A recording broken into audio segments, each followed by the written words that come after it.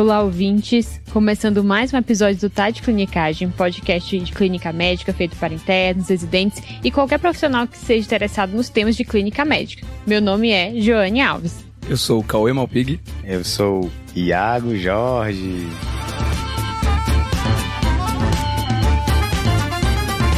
Eu adoro esse, né, esse sonoro, né? Adoro também. Tem que ser sempre o último, tá?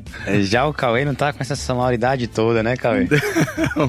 Hoje tá difícil, viu, gente? Eu tô com um pouquinho de, de vergonha de gravar esse episódio, mas eu acho que vai dar tudo certo. Ele tá com diarreia, pessoal. Não posso nem rir muito. Eu acho que todo mundo percebeu aí, a minha voz tá um pouquinho rouca. Ah, é, tá rouca, né? Pensei que era diarreia, cara. Mas é só por uma garganta seca, não tem nada de sintoma de via respiratória, não. Vamos esperar que essa voz dure até o final do episódio, né, Cauê? É, se, se durar. Eu acho que vai acabar no meio, mas tô torcendo aqui. E eu não vou ouvir esse episódio, viu? Ai, Já tô Jesus. com vergonha, eu não vou ouvir esse episódio. Então, vamos lá, né? Antes que a voz do Cauê acabe. Vamos lá.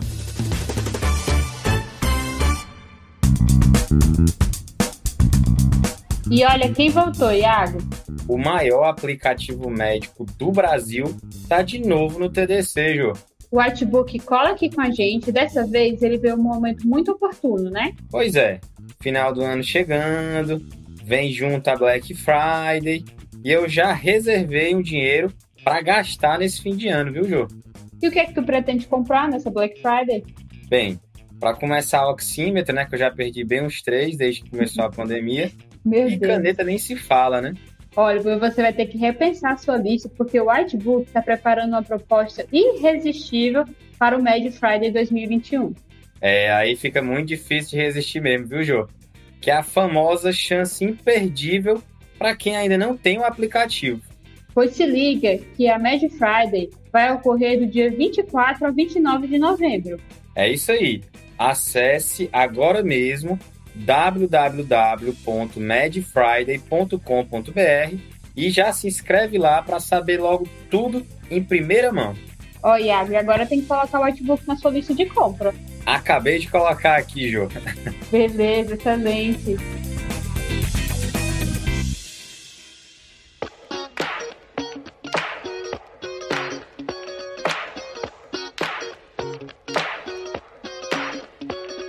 E aí, Jane, o que, que a gente vai conversar hoje? Então, a ideia hoje é a gente falar sobre o manejo do- da crise álgica no paciente com anemia falciforme, né? Chegou o tão esperado momento e tem uma pessoa específica aqui na mesa que tá muito feliz, muito feliz. É um riso solto, vocês precisariam ver. É um assunto importantíssimo, né? Assim, a gente, os prontos-socorros aqui de São Paulo é, é uma doença muito comum, né? Anemia falciforme, doença potencialmente grave, né? Assim, os pacientes sofrem, né? Com, com dor e com manifestações dessa doença que muitas vezes é com manifestações é, graves e muito diversas, né? Assim, é uma doença, do ponto de vista médico, é uma doença muito exuberante, né? E nesse episódio a gente vai abordar os principais tópicos na condução de um paciente com anemia falciforme que chega com a crise vasoclusiva no pronto-socorro. A gente vai começar pela analgesia, junto a gente vai também falar de alguns diagnósticos diferenciais, né, da dor nesses pacientes, Tá? alguns diagnósticos diferenciais mais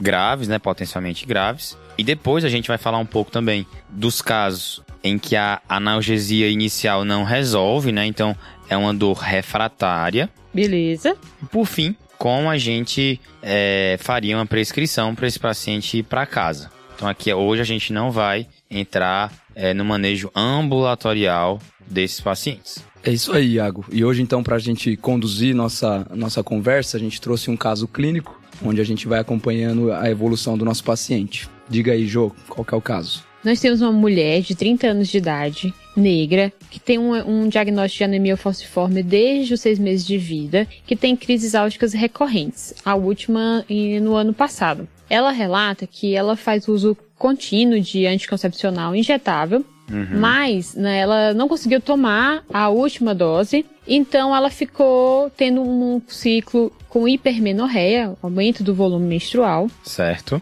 e depois de um certo período com esse ciclo muito aumentado, ela começou a apresentar dor nas costas dor no quadril. Essa dor foi aumentando progressivamente até se tornar uma dor muito intensa, na qual não estava resolvendo, né? Ela não conseguia ter analgesia adequada com o que ela usava de analgésico em casa, que era o tramadol. Tá bom. E ela precisou procurar o pronto-socorro para conseguir o alívio da dor. Então, Ju, é, deixa eu ver se eu entendi. É uma mulher de 30 anos, com diagnóstico de anemia falciforme, que já tem um background de umas crises vasoclusivas recorrentes, que vem apresentando há uma semana, dor em região de dorso e quadril, depois de apresentar um sangramento via vaginal. Isso um sangramento importante. Ela relata que eram cerca de nove absorventes noturnos, né, que tem um maior volume, que eles aguentam maior volume, eram nove absorventes por dia. Então ela deve ter perdido uma quantidade de sangue, né, deve ter ficado um pouco mais anêmica,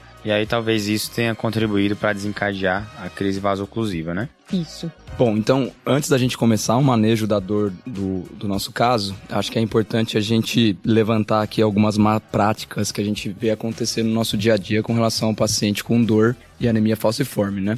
Já pegando um dado que eu achei interessante, de um levantamento de 2005, por volta de 86% dos médicos em hospital e escola desse levantamento, eles não acreditavam que o relato de dor é o melhor indicador de dor no paciente com falciforme. Isso já é bastante preocupante, sendo que a gente sabe que o padrão ouro de avaliação de uma dor é a dor autorreferida. Exatamente, Caio. E não existe testes, uso de placebos, exames, sinais vitais, faces do paciente que vai dizer pra gente o quanto que ele tá sentindo dor. Então, o que a gente tem que acreditar, sem dúvida alguma, é no relato do paciente com anemia falciforme, quando ele procura o pronto-socorro, e a gente não precisa ficar tentando usar de outras maneiras para entender como que está sendo a dor dele e simplesmente tratar o paciente pela doença que ele tem. É, inclusive, assim, não é uma prática adequada, correta, fazer um placebo no paciente, né? Assim, esse tipo de paciente, assim, a gente, é, a literatura é bem clara. É uma população que classicamente tem dor, né? Então, assim, não existe essa conduta de fazer um placebo para ver,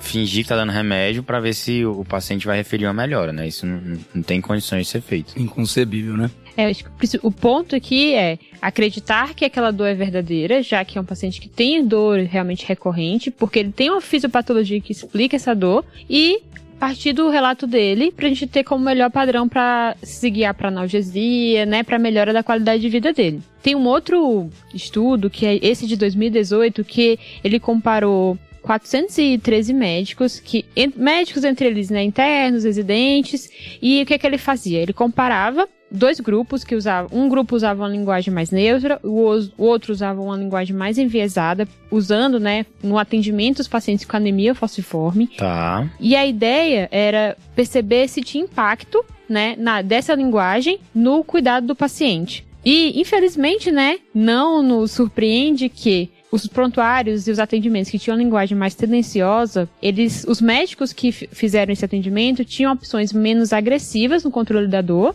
e também tiveram atitudes mais negativas em relação ao contato com o paciente, na ideia de serem acolhedores, né, de darem uma melhor atenção. Entendi. Então, esse estigma é contagioso, então, João. Isso. Esse foi isso um, das, das, um dos resultados, pelo menos, obtidos nesse estudo, né? Exato. E aí, a doença falciforme é mais prevalente em, em negros, né? E a, como a gente conversou no episódio 105, né, de saúde na população negra, existe tanto uma forma de racismo do meio, né, que esses pacientes sofrem, e existe também o racismo implícito deles mesmos, que é teve um trabalho, né, Joane, que, que uhum. foi comentado nesse, nesse episódio, que a população negra muitas vezes pedia menos analgesia. E uma das hipóteses que foi aventada nesse trabalho é que eles se achavam menos merecedores de é, analgesia. Então, a gente tem que ter bastante empatia, bastante cuidado é, com esses pacientes. É, a gente tem que pensar né, nesses pontos todos, né, do cuidado do nosso paciente. E é importante também pontuar aqui, assim como a gente pontuou no episódio 105, que vale, vale a pena vocês ouvirem, foi uma participação do Júlio, que existem soluções. E sempre uma das soluções é educação continuada. Tem um trabalho que é legal, que ele comparou profissionais E aí é toda a equipe multi que recebiam, né, que tinham acesso a vídeos educativos sobre anemia falciforme, sobre a dor, a dor relacionada à crise vasoclusiva e que depois dessas intervenções eles conseguiam ter maior empatia e tratar mais adequadamente os pacientes que chegavam com essa queixa no, na unidade, né, nas unidades que eles atuavam. Então, é uma forma barata, viável para o serviço para tentar educar seus profissionais e, além dessa, é tentar utilizar né, termos menos pejorativos, como a gente viu no outro trabalho, que sempre que a gente usa uma linguagem mais pejorativa, aquilo vai ter impacto no cuidado do nosso paciente. Muito bom, Ju. E aí, entrando é, naqueles pontos de aprendizagem que a gente comentou no início, Ju,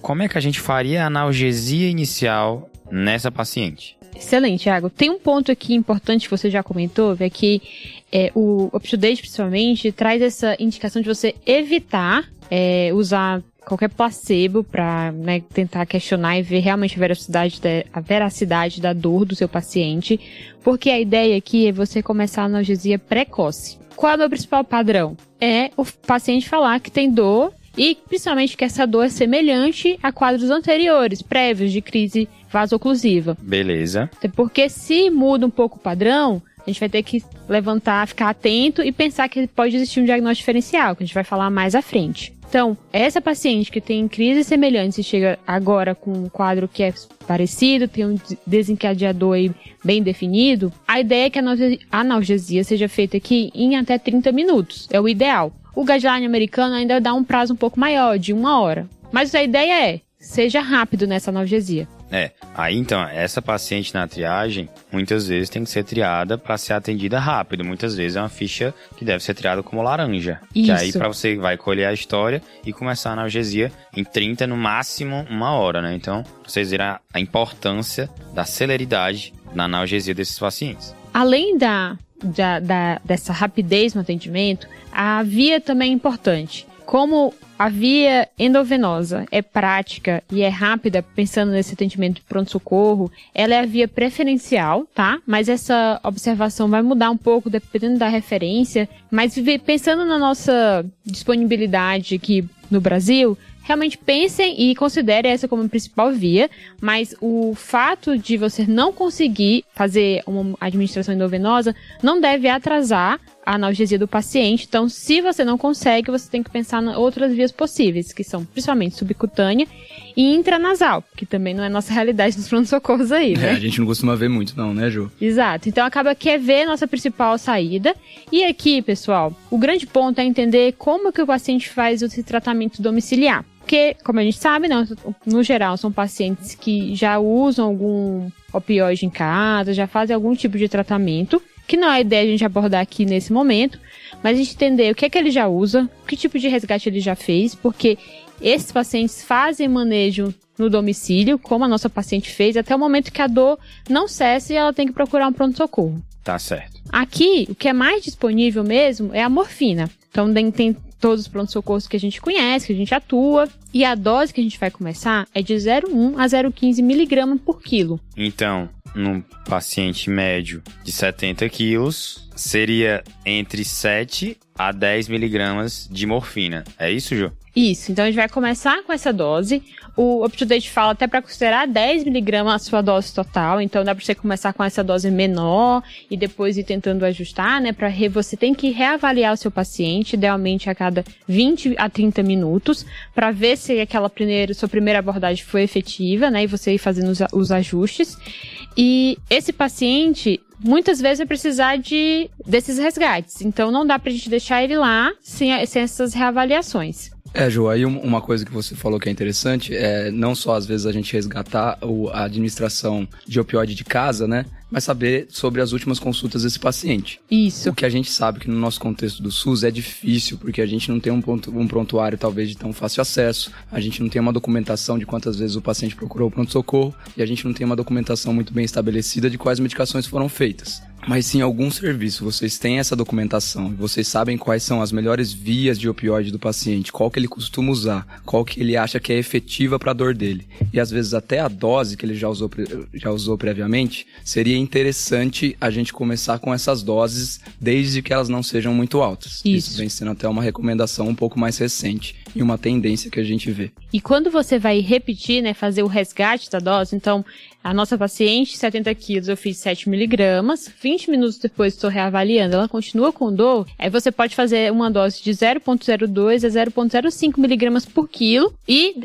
depois de 20 minutos reavaliar, para ver se agora a dor já cessou. Ótimo, João. Que aí, Jô, de 0,02 a 0,05 miligramas por quilo, uma paciente teórica de 70 quilos estaria entre 1,4 a 3,5 miligramas de morfina. 2 a 3 miligramas aí, né, Ju? Um outro cálculo que dá para ser feito quando você vai repetir a dose, se você não vai usar esse, essa sugestão do up-to-date, é fazer 20% da dose inicial, chegando até 50% dessa dose que você fez, e novamente reavaliar com 20 a 30 minutos. Também é viável isso. Que dá mais ou menos aquela quantidade que a gente tinha calculado, né? 2 a 3 miligramas.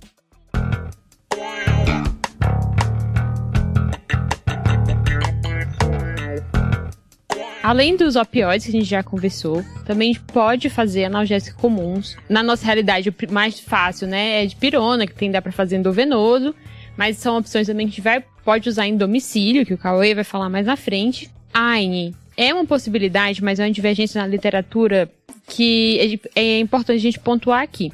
O guideline da Sociedade Americana fala que você pode prescrever por um período curto de 5 a 7 dias, principalmente no paciente ambulatorial, mas o up-to-date é bem claro e fala dos riscos do uso dessas medicações, dos efeitos colaterais, e para você evitar essa classe nos pacientes que internam, né, que vão ficar hospitalizados. Então, pessoal, a, o resumo é: é divergente, é, você tem que considerar risco-benefício e individualizar essa decisão, né, para o seu paciente, para a sua realidade, para o que você tem disponível de terapêutica. É, aqui, diferente da litíase, né, que na litíase é a primeira escolha, né, como a gente comentou uns episódios atrás. Opa, outro episódio, hein? Aqui já é bem nebuloso essa indicação, né? Tem sociedade que recomenda, enquanto outras sociedades recomendam contra, né? Pelos riscos, né? Realmente, como a gente comentou no começo, é uma doença multissistêmica, algumas vezes o paciente tem lesão de órgão-alvo crônico, né? Então, é bom ter bastante cuidado é, na hora de prescrever anti-inflamatório nesses, nesses pacientes. Boa. Além disso, é, temos que pensar na hidratação, que é outro ponto de cuidado, porque a ideia é você perceber se o paciente tem sinais de desidratação e aí sim fazer hidratação endovenosa, que você vai ficar em torno de meio a um litro, né? Claro, individualizando, vendo outros fatores de risco do seu paciente. E caso ele fique adequadamente hidratado, né? Tem uma euvolemia, você vai oferecer mesmo hidratação oral. Então, se ele tiver condições, ele vai ingerir líquido livre demanda, esti estimular essa ingesta para ele manter uma euvolemia. Cauê, como é que a gente avalia a volemia? Conta aí.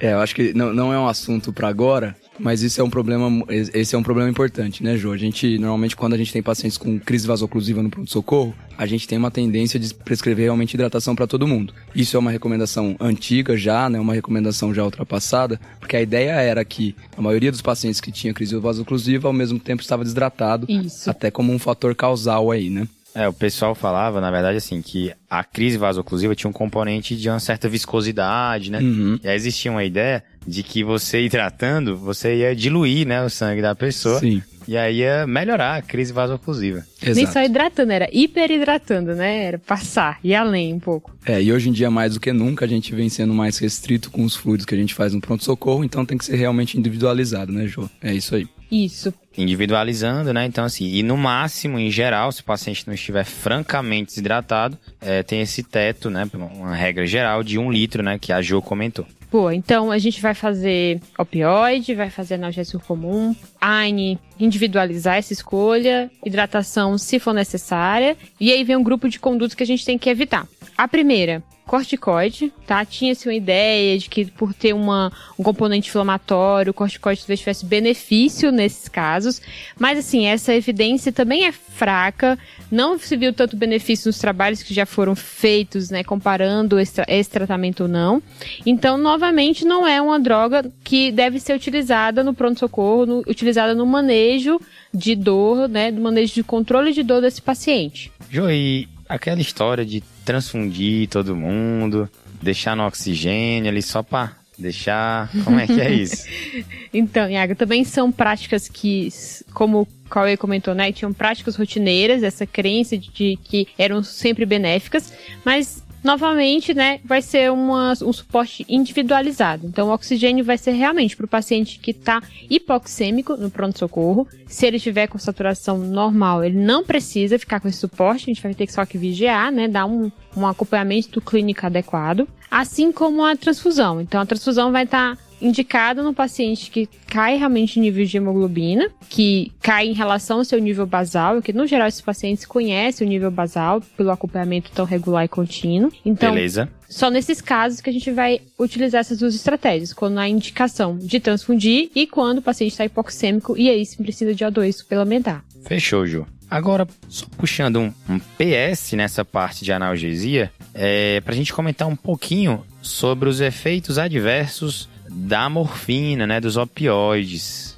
Tá, aqui, né, o principal é intoxicação, levando a rebaixamento do nível de consciência, né, bradipneia, que são os efeitos mais graves. Depois tem efeitos gastrointestinais, que principalmente náusea e constipação, que aí são é, principalmente no uso mais crônico da medicação, vai mais para o contexto domiciliar, mas a gente pode ver ali no manejo ainda hospitalar, né, do paciente que já saiu dessa fase mais aguda. E tem um, um sintoma que é muito pouco falado, mas que a gente tem que estar atento, que é o prurido. É, e do prurido é interessante a gente comentar um pouquinho, Jô, porque a gente vê bastante pacientes com, com crise vasoclusiva no pronto-socorro que pedem uma medicação que é o Benadryl, que é um antistamínico. E aí acaba entrando no meio da estigmatização, né, do uso abusivo de outra substância, mas na verdade o antistamínico, o paciente com anemia falciforme acaba pedindo o Benadryl para tratar um efeito colateral do opioide, que é justamente o prurido. Então, na verdade, não é que ele está fazendo uso abusivo, ele está fazendo o próprio tratamento, né? Entendi. Beleza.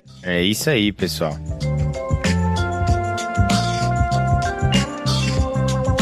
Voltando então para o caso da nossa paciente. Ela foi admitida no pronto-socorro com sinais vitais estáveis. Devido à dor, foi iniciado morfina, endovenoso, ela ficou lá sob observação.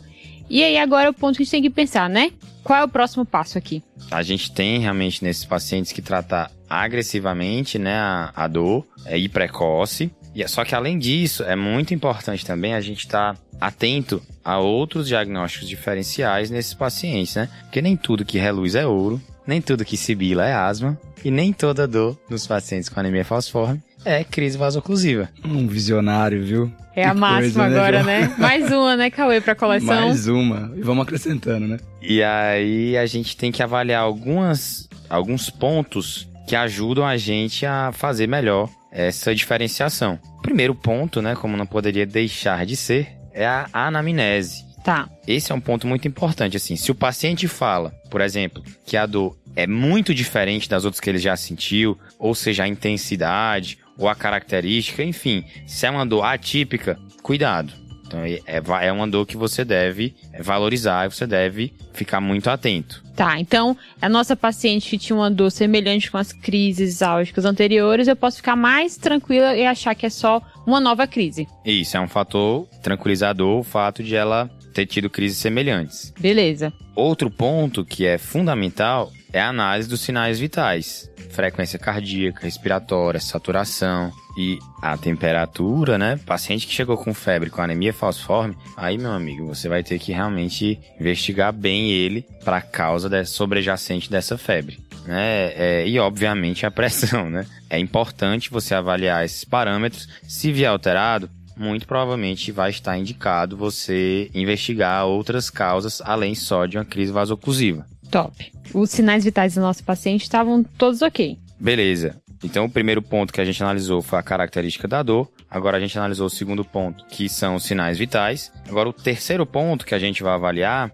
é, é o sítio da dor. Por exemplo, uma dor torácica, que é um dos, dos diagnósticos mais temidos né, no, no paciente com anemia fosforme, que é a síndrome torácica aguda. Tá. É, que pode cursar com dor torácica, pode dar alterações de sinais vitais, de saturação. E é um caso mais complexo e uma discussão mais profunda, né? Que vai ficar para um episódio mais pra frente, se tudo der certo, nossos editores permitirem. é, então esse, nesse caso, nessas suspeitas, a gente precisa de exames complementares. Aqui a radiografia de tórax é importante, né, nesse, nessa suspeita diagnóstica. Isso, Ju. E lembrar que também não existe só a síndrome torácica aguda. Esses pacientes também eles têm uma chance maior de ter TEP, de ter síndrome coronariana aguda, eles têm uma chance maior de ter também é, infarto, né, ósseo nas costelas. Então, a gente tem que ficar atento a essas possibilidades nesses pacientes. E além dessas complicações, mais alguma, Iago, pra gente se preocupar? É, aí cada sítio tem as preocupações de cada sítio. Tá. Por exemplo, se é uma dor abdominal, aí principalmente se o exame físico abdominal está alterado, você pode pensar, por exemplo, num sequestro esplênico, né? Você tem alguns diagnósticos graves, sequestro hepático, você tem a, principalmente também colelitíase, colecistite, esses pacientes classicamente têm alterações biliares. E aí, isso eu tô falando, que eles têm uma chance bem mais aumentada. Eles também podem ter outros diagnósticos, da mesma forma que a população em geral, né? Apendicite, pielonefrite e por aí vai. Então a gente já comentou da dor torácica, da dor abdominal, tem também a dor de cabeça, né? Esses pacientes eles estão mais suscetíveis a terem acidentes vasculares cerebrais né? E principalmente pessoas que já tiveram AVC prévio. Então, também tem que ficar ligado. Outra complicação é que eles têm, eles podem formar aneurismas cerebrais semelhante ao padrão de moia-moia. Boa. Tem que ficar ligado dessa complicação nesses pacientes. E outro sítio possível é dor nas extremidades, né, nos membros. Classicamente é um sítio acometido por uma crise vasoclusiva, mas também pode ser uma, outros diagnósticos diferenciais. TVP, por exemplo, um infarto ósseo, uma necrose avascular da articulação ou mesmo uma dactilite, mais comum em crianças pequenas, né, em bebês. Beleza. Então, Iago, a ideia é que se uma paciente tem um quadro mais típico, uma, ele está tendo uma crise semelhante com as crises álgicas anteriores, eu vou ficar mais tranquilo e pensar que é um novo, novo evento. Caso tenha alterações sinais vitais, é, uma localização diferente, uma característica diferente, ou em algum desses outros sítios que você comentou, eu vou ficar atento e investigar alguma dessas complicações. É isso aí, Ju.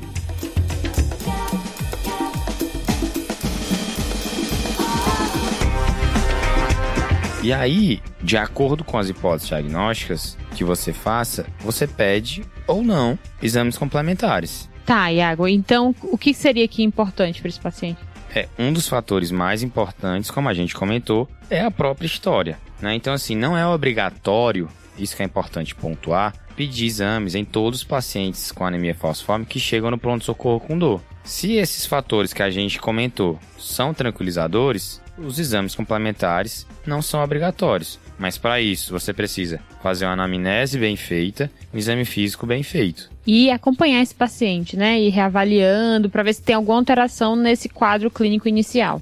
Perfeito, Ju. É, o tempo, né, esse período de observação que o paciente passa no PS com analgesia, ele também é fundamental. Você vê se o paciente está com a dor refratária que ele não costuma ter, ou, ou se ele tem alguma outra característica que chama sua atenção, vale a pena você investigar. E aí, os seus exames complementares vão variar de acordo com a sua hipótese. Mas em geral, você vai pedir os exames básicos, hemograma, provas de hemólise, né, incluindo reticulose, por exemplo, obviamente bilirrubinas, é, DHL pode ajudar. E os outros variam, né? Por exemplo, função renal, eletrólise, função hepática, né? E exames de imagem de acordo com a sua hipótese diagnóstica. Boa. E aí, Iago, só para finalizar essa parte, você pediria exames para essa paciente? É, essa paciente, no nosso caso, ela teve um sangramento mais exacerbado, né, Ju? Uhum.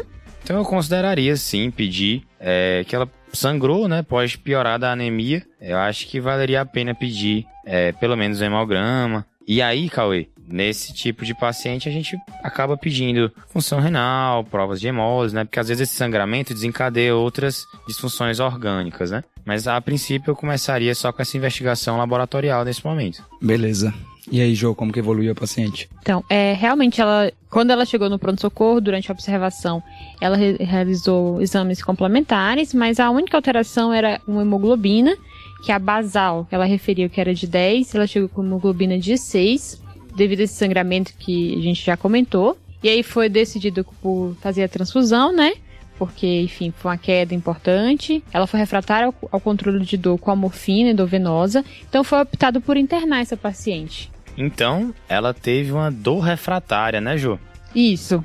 E aí, Cauê? Como é que a gente trata essa dor refratária? Certo. Então, quando a gente tem uma dor que é refratária, a gente tem que considerar tudo que o Iago falou e a gente tem que aplicar no nosso paciente. A gente tem que investigar causas secundárias. Não é normal um paciente vir com dor refratária, sendo que ele não teve nenhuma dor refratária recentemente. Mudou o padrão. E aí é importante a gente explicar para os ouvintes que dor refratária não tem um conceito muito bem definido pelos guidelines. Mas para dar um norte na nossa conduta, em geral, se o paciente não teve um controle de dor adequado, com três ou mais doses de opioide forte, como a Jo explicou um pouquinho ali atrás, pode ser que o paciente realmente esteja entrando em uma refratariedade. Vale a pena a gente internar esse paciente para fazer um controle de dor mais adequado. Então, depois que eu fiz três doses de morfina, e ele não melhorou. Então eu já começo a pensar que pode ser uma dor mais refratária, né, Cauê? Exato, Iago. E aí, mesmo se eu não tiver uma causa secundária para essa dor, alguma das complicações que você falou, vale a pena sim a gente internar para manejo de dor. Mas e aí, Cauê? Como é que a gente trata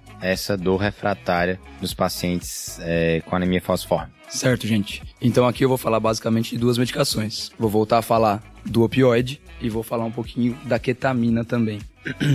Com relação ao opioide, a primeira decisão que a gente tem que fazer é se a gente vai fazer o opioide em dose intermitente, ou seja, de horário, ou se a gente vai fazer uma infusão contínua em bomba de infusão. Tá, o que, é que a gente tem de evidência aí, Cauê? Eu acho que o melhor aqui tem recomendação da gente ter como preferência a infusão contínua. Tá. Porque tem uma estabilidade maior no controle da dor e tem menos efeito colateral para esses pacientes com relação à dose intermitente. Tá. Independente do que a gente escolher, a dose intermitente ou a dose contínua, a gente tem que deixar a dose de resgate conforme a solicitação do nosso paciente. E aí, só para a gente ter uma noção, essa dose de resgate, em geral, vai ser um sexto da dose total diária de morfina do meu paciente. Então, eu vou prescrever um sexto dessa dose total diária como um resgate conforme a necessidade desse paciente. E aí posso fazer já na é endovenoso, né? Que eu já tô com essa via, então é mais prático, é rápido.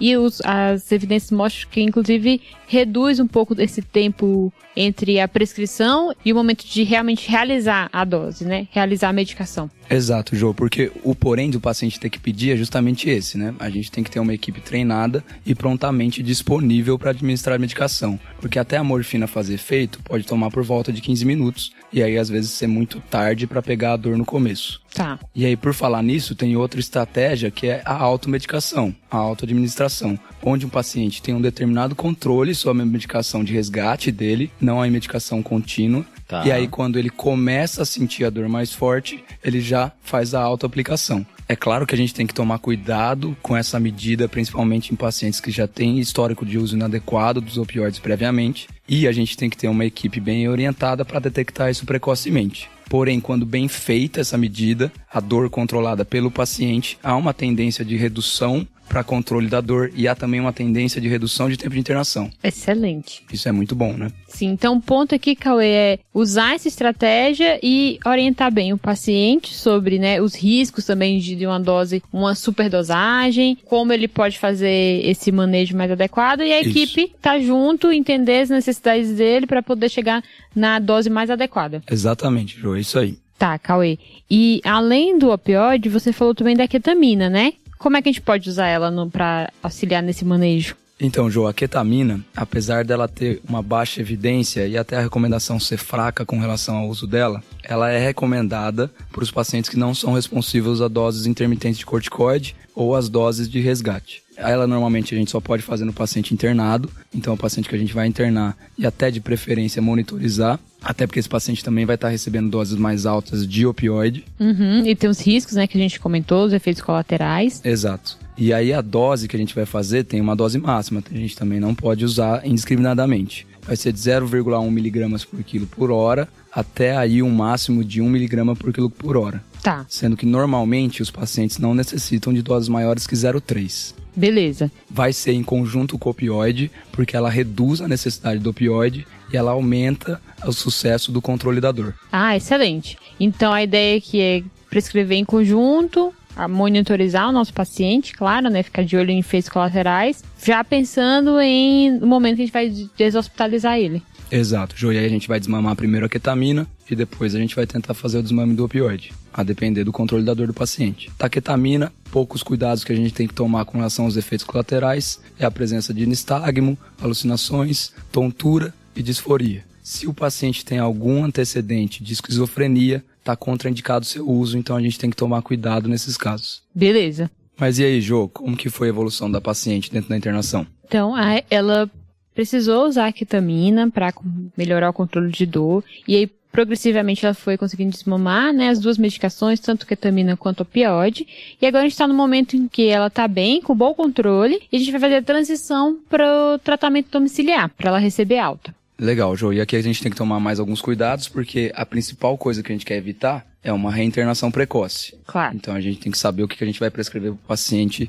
para casa. Então, primeiro de tudo, a gente vai pensar em dar alta para o nosso paciente quando ele tiver com opioide via oral e que esse opioide via oral seja satisfatório para controlar a dor dele. Beleza. E aí eu preciso, de alguma maneira, já dar uma prescrição de opioide para casa condizente com a que ele está usando no hospital para pelo menos de 3 a 5 dias. Só esse ato da gente dar medicação para o nosso paciente na alta domiciliar e não ter nenhum atraso de aquisição com relação a idas a farmácias, de saídas de casa, a gente consegue dar uma alta e garantir uma redução da readmissão em 30 dias por causa da dor do paciente. Excelente, né? Então é uma conduta super simples de fazer, que a gente consegue dar as medicações antes da alta e evita aí um desfecho que pode ser danoso para o paciente, né? Tá. E aí, além dessa prescrição de, de opioide por 3 a 5 dias após a alta para controle imediato, a gente também tem que prescrever morfina de resgate. A gente tem que prescrever uma morfina de ação rápida para esses pacientes e educar eles para quando eles sentirem dor, já fazerem o uso da medicação em casa.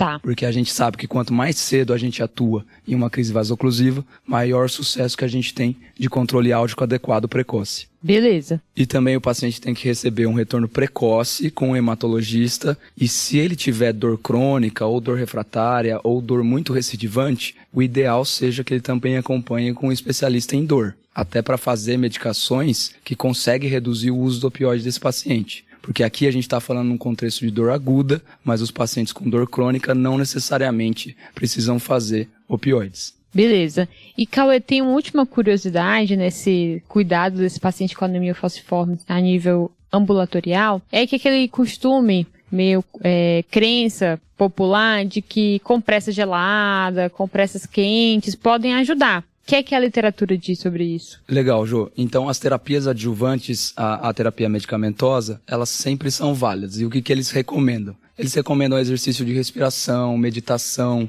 exercícios de relaxamento, massagem, e eles sempre têm que ser orientado isso para o paciente. Com relação a compressas, a gente pode orientar a fazer compressas de calor, mas tem que falar especificamente para o paciente evitar compressas frias, porque compressa fria pode desencadear episódios de dor. Então existe sim essa recomendação. Beleza. Muito bom, Cauê. Então, fazendo um resumo da nossa conversa de hoje, a gente discutiu o caso né, de uma paciente jovem, né, com anemia falciforme, que teve um episódio de crise vasoclusiva, desencadeado possivelmente por uma hipermenorreia, né? A gente discutiu a analgesia inicial, né, no pronto-socorro, em que a pedra angular é a morfina, né, um opioide potente. A gente conversou também sobre os principais pitfalls, Cauê. Olha lá. É, as principais diagnósticos diferenciais de uma crise vasoclusiva, né? Quando pensar, quais são as principais características da dor que a gente tem que valorizar. Uhum. E por fim, a gente discutiu a dor refratária e a prescrição para casa desses pacientes. Exato. Boa. Vamos acabar antes que acabe a voz do Cauê. Coitado, gente. Periguei aqui, viu? Tava desesperado. O coitado tá aqui, ó, tentando dar seu máximo pra, pra esse episódio sair, mas foi sofrido, coitado. Foi, foi uns dois litros de água aqui do lado, mas valeu a pena. Boa.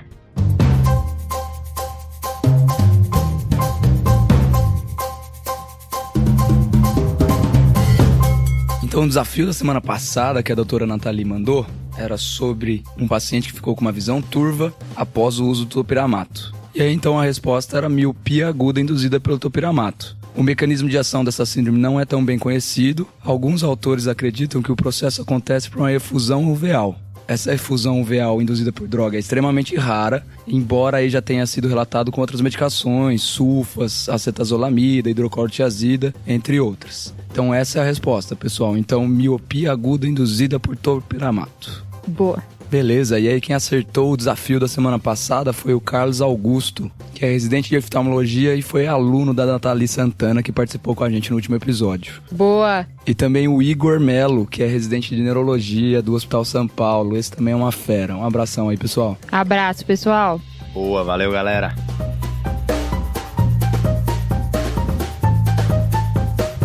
E aí, Iago, qual que é o desafio da semana? Então, o desafio dessa semana é um paciente de sexo masculino de 25 anos que ele vem para você com histórico de crises vasoclusivas recorrentes. Ele vem dizendo assim que nos últimos dois meses é, ele tá tendo muitas crises, ficou internado diversas vezes. E aí ele conta para você que no, na última semana ele estava muito bem. Foi a primeira vez em muito tempo que ele ficou bem, sem necessidade é, de fazer medicações de resgate. Certo? E aí, nas últimas 24 horas, ele vem para você com queixa de uma poliartralgia assim bem mais intensa do que ele está acostumado em diversas articulações, das grandes articulações, uma dor abdominal, náusea, diarreia importante e também associada a sintomas gripais, Cauê. Ele vem com uma rinorreia e um lacrimejamento significativos. Além disso, no exame físico, você percebe que ele está claramente agitado, taquicárdico e com tremor de extremidades. Qual é a hipótese diagnóstica? Opa, Boa. interessante, boa, hein? Responde aí pra gente, manda inbox no Instagram, no Twitter, no e-mail. Manda, fala, conta pra gente.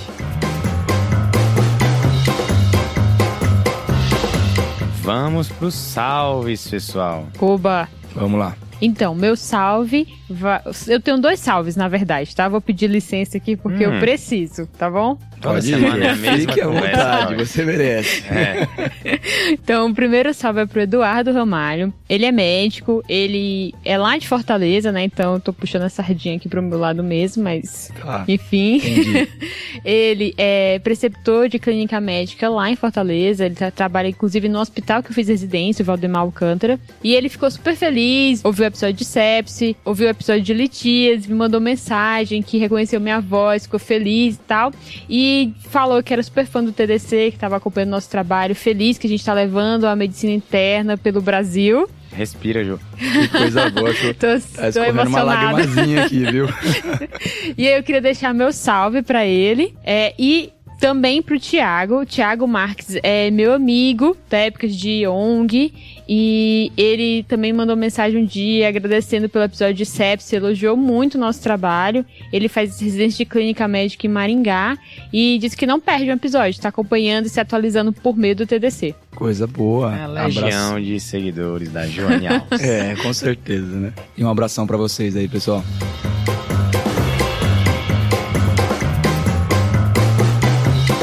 O meu salve vai pro Douglas Teixeira. Ele mandou mensagem pra gente no Instagram comentando, né, que ele é médico legista da Polícia Civil de Minas Gerais. Então, muito obrigado, Douglas. Um grande abraço a todo mundo aqui do TDC. Abraço. Abraço, Douglas.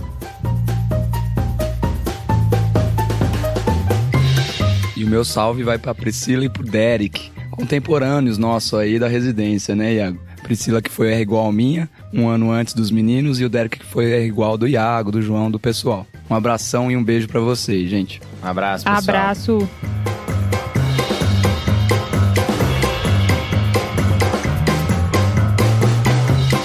E é isso, né? Finalizou? É isso, sim. Olha aí, pessoal. Coisa boa, sobrevivi. Fiquem felizes com esse episódio, porque o Cauê deu todo o seu empenho, dedicação. Ele economizou a voz por muitos períodos para ele estar aqui hoje, falando tudo que a gente estudou para vocês. Demoramos pra gravar esse episódio, hein? Mas foi bom. Foi muito Boa. bom. Sigam nossas redes sociais, nosso Instagram, Twitter, vão lá no YouTube que tem tendo vídeos muito interessantes com a tecnologia que só a Thiago e Cauê estão desenvolvendo. Opa. aí sim, gostei. É isso aí. E tem o nosso site, que é o Michelangelo do TDC, colocou para rodar e ele tá sensacional. Lembrar qualquer coisa que vocês queiram procurar do conteúdo TDC, é só acessar o site tadeclinicagem.com.br. Tecnologia de ponta nesse site. Coisa boa, viu? Boa. Beleza, pessoal. Agora Fechou. sim, fechou. Fechou. Fechou. Beleza. Valeu, Valeu, valeu. valeu, valeu. Falou.